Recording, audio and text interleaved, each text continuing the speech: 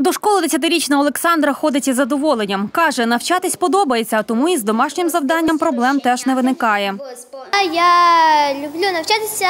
Мій найлюбимий предмет у мене їх є декілька. Е, Фізкультура, математику досить люблю вирішувати різні е, вирази, рівняння. Е, Люблю літературу почитати, коли мені скучно. Мені подобається, ну але коли я устану зі школи, то я спочатку чуть полінюся, а потім вже буду сідати вчитися. Ну, практично не заставляю, тому що я роблю сама домашку. Ну, якщо я щось не знаю, то мені допомагає бабуся. Хоч отримувати нові знання і цікаво, кажуть школярі, та інколи їхнім батькам доводиться докласти зусиль, щоб мотивувати дітей до навчання. Мені не лінь робити математику і все.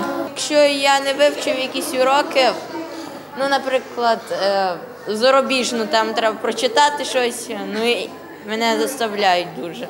Мій улюблений предмет це фізкультура, українська мова і математика.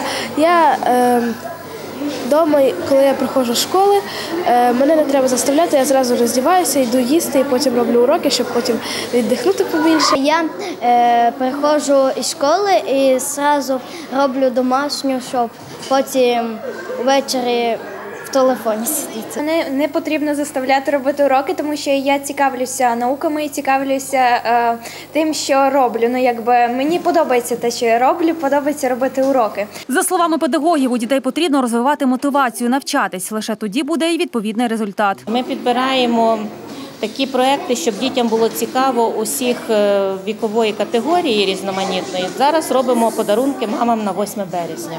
Заставити то неможливо. Потрібно лише до, до їхньої свідомості достукатись. Погоджуються з цим і психологи, адже дітей не потрібно змушувати, а просто зацікавити навчатись.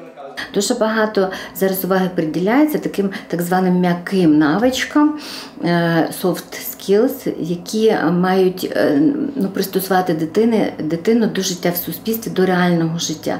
І вони напряму не пов'язані з фаховими навичками, тобто напряму не пов'язані зі знаннями математики, так? але пов'язані з тим, як можна це використовувати в житті, як можна собі, е, скажімо, полегшити життя чи вирішити якісь свої проблеми. І от, власне, якщо навчання буде проводитися в такому стилі не тільки подачі знань, але і е, ну, навчання дитини.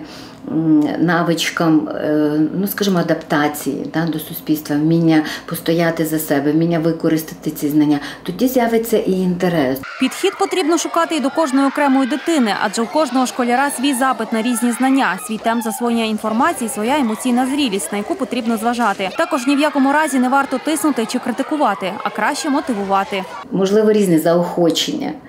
Чи якщо ти зробиш уроки, ми там підемо в зоопарк, чи підемо десь на піцу і так далі. Хоча є діти, на, на яких це не впливає.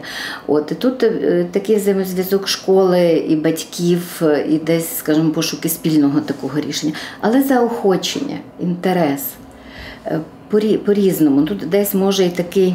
Знаєте, Такі домовленості, ти робиш то, ти робиш уроки, а я тим часом там щось інше тобі приготую твою любиму справу.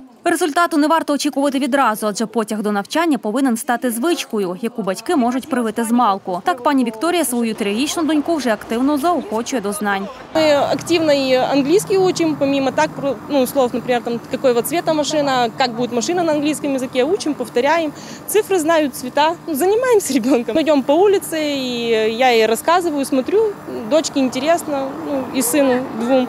И им как бы потом нравится вместе повторять. Цвета дома, игрушки дома, есть куча игрушек, и вот игрушка играет, это там Мишка, Беа. Ну, повторяют, цвет какой, коричневый. Ну, вот так вот в- в игровой форме, и так стараемся. За словами психологів, маленькі діти готові вчитися і нічого за це не вимагати. У них сильно розвинена внутрішня мотивація. Ефективно вчаться діти, які цю внутрішню мотивацію зберегли. Та цілком можливо і її відновити. Також батькам, які вимагають від дітей школярів високої успішності, не варто забувати, що основне завдання навчання в школі отримати потрібні навички і навчитися працювати з інформацією. Лише в такому разі, виходячи зі стін школи у світ дорослих, дитина буде готова справлятися із завданнями, які перед нею буде ставити життя.